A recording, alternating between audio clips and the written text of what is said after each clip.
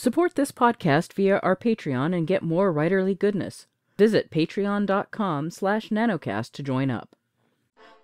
Welcome to NaNoWriMo Every Month. My name is J. Daniel Sawyer. I'm the author of some 20 books, 34 short stories, and numerous articles and other things, and I am your guide on this journey to use NaNoWriMo to level up to professional output levels. Welcome to The Questions, Episode 22. Today's question comes from that perennial wonderful questioner, Sergeant Mike, who asked a couple of questions which seem to me to go together. He says, How do you develop the setting as its own character with all that implies? When I write, I tend to find I either spend too much time writing my world building or leave the reader having to do it themselves. And he also asks, World building. How much is enough without giving too much and losing the plot and the reader? I struggle with giving too much, effectively spoon feeding the audience and giving them room to create their own mental image. Okay, so uh, Mike, these are very connected because the principle that answers both of them is the same. You basically want to create a world that is complete enough for your story to take place. If you're going to do a lot of more in-depth world building because you're building a series or for your own sense of grounding or to satisfy a psychological eccentricity or something, that's a whole other thing. But at the very minimum, you need to build the set that your characters are on. If you ever go to Universal Studios and take the backlot tour, whether in Hollywood or Florida, you'll notice that they've got a whole bunch of buildings that aren't buildings. They're just the fronts of buildings. And if you go around back, they're just a bunch of two by fours holding up the fronts of these buildings. They're called facades. They serve exactly the purpose that is needed, no more, no less. And that's the minimum level of world building work you need to do. Now it sounds like from the way you pose your questions that you're struggling with doing the opposite. You're struggling with being completely complete and then instead of telling a story, just taking your reader on a tour of your world. This is where the um, old maxim setting is character comes in. Your reader encounters your setting through the eyes of your narrator. And unless you're writing third person omniscient, which is a very rarefied art form and isn't practiced very much today, then your narrator is going to be peering through the eyes of one of your characters, or more than one of your characters. So what your audience encounters is going to be what that character notices about the room, the street, the world you need to have them notice enough that your audience stays grounded and one step ahead of the dialogue. You don't want someone walking into a room and saying, The Mertzes are coming, with having no idea what the Mertzes are unless you immediately make it clear with the reply whether the Mertzes are an invading army or a species of birds that's coming on a violent rampage to a coastal town, or they're the rival clan, or whatever they are. You need to make it clear to the reader so the reader can follow along and sometimes anticipate what's coming on. You don't want them to anticipate all the time, just some of the time. You know, it lets them feel invested, and investment's a good thing. But um, if you're losing the plot, then probably what's happening is you're not confident about the story you're telling, and so you're retreating into something that you know. Now, if you're a young writer, and by young I mean young in your career, you're going to do that. It's natural. And as you cycle through, one of the things that you'll begin to notice is when you're doing that, and you just are going to probably become a taker outer and cut sections as they become obvious to you that they're not important. Think of your narrator's voice as a camera lens. Your readers cannot see what you don't point your camera lens at. They don't see anything that's not on the screen. It's just like shooting a movie that way. No one who's watching a movie, not even people who make movies, when they're watching the film are thinking of the crew that's behind the camera.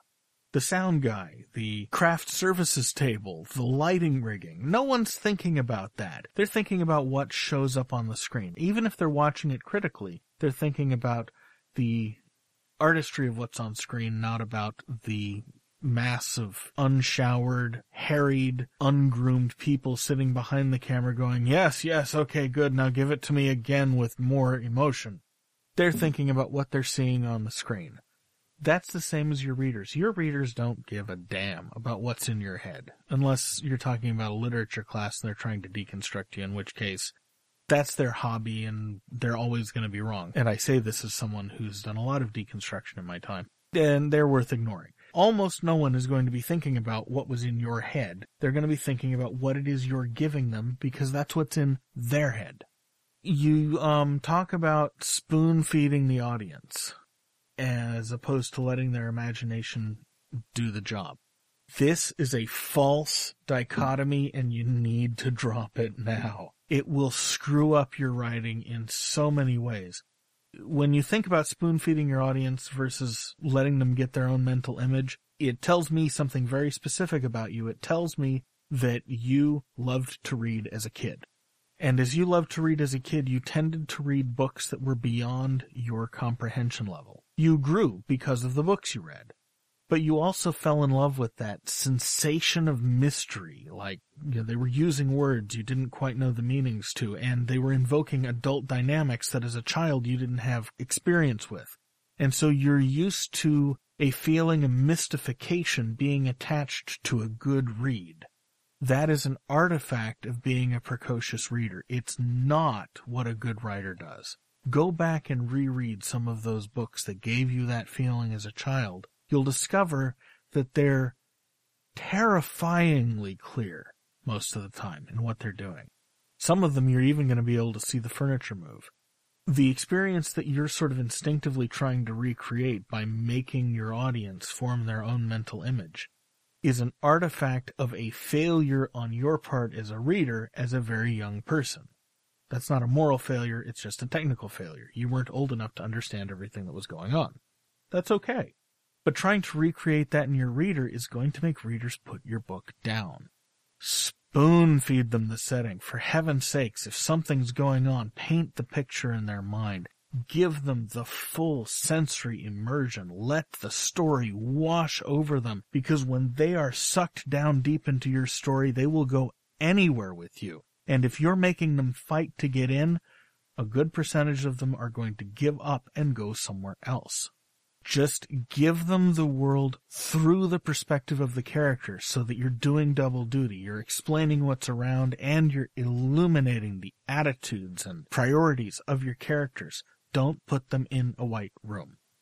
Stories that are in a white room that work are very hard to do there's a lot of things you do early in your career that are impossible to do well until you do them late in their career, which is why they become those things in the mid-career that you avoid like the plague. Because you've seen them and done them so badly, and everyone tries to do them because they're so cool when they come off, that everyone tries to do them and they're terrible.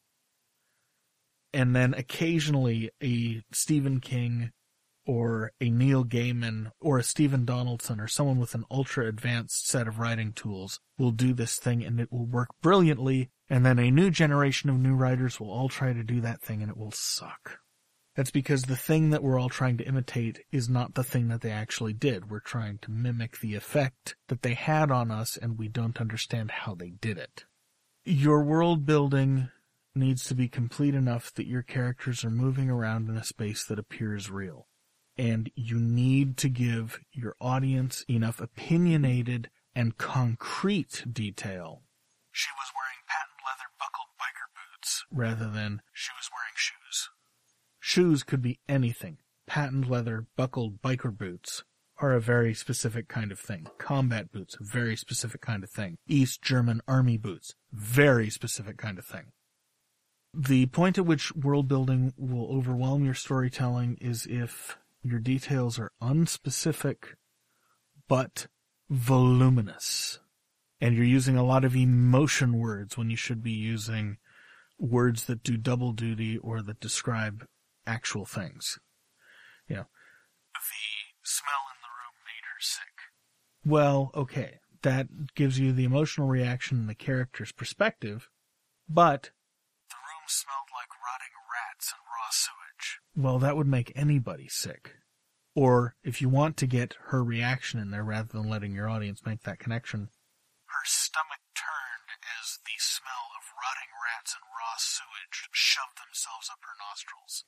That gives you a sense of violation, a sense of nausea, a very, very clear picture of the smell in the room all at once.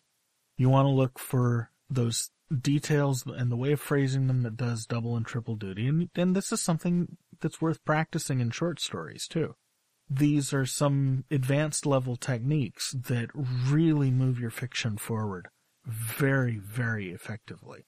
But don't worry about leaving the reader to do it themselves, giving them room to create their own mental image. These are bad ideas. You need to get them out of your head. Your job as a storyteller is to overpower their sense of reality and create an illusion that they can't escape from and don't want to.